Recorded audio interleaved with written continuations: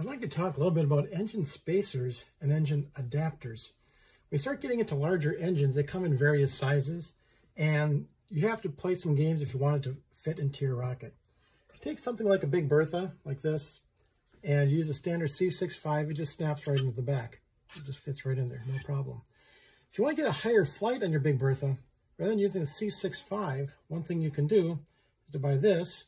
This engine is a, a Q-Jet engine. It's a D16. So the D16's got double the energy and a lot more thrust. But notice it's exactly the same size as your 18 millimeter engine. So yes, you can take this engine and just snap it right into the back of your Big Bertha and you're all okay for another really high flight. Um, well, let's take a look at the other types of engines that we have available.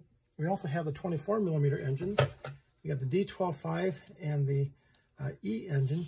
Now, if you want to use a D12.5 where you have an E12 type of engine mount, you have to use a spacer. And this way, you see all you have to do is slide the spacer in first, then slide in the engine, and then you're all set. You got the same size. Both of these will fit into the engine mount. So if you take something like your Hi Flyer, slide in the spacer, slide in the D engine, and you're okay. Or you just slide in your E engine, and you're okay. But what do you do if you want to use one of these D16s in the Hi Flyer. Well, there's a little bit of a problem. Um, you take the D16 and you put it first into your engine adapter like this. Now this makes it look like a 24 millimeter. So this is really the same size as the D engine. Well, almost. if we take a look at this, um, if I have my engine inside of this adapter and I use this particular spacer on the end of it, you see it's a little bit too long. So all I do is just cut off a little bit from the end and we're all set. So now I can go ahead, I can take my Hi Flyer, I can put into this either my uh, E12, just slide that in, or I can launch it on my D16-4 with this particular adapter. So you have to be careful. You got both of these. They're off a little bit by um, difference in size.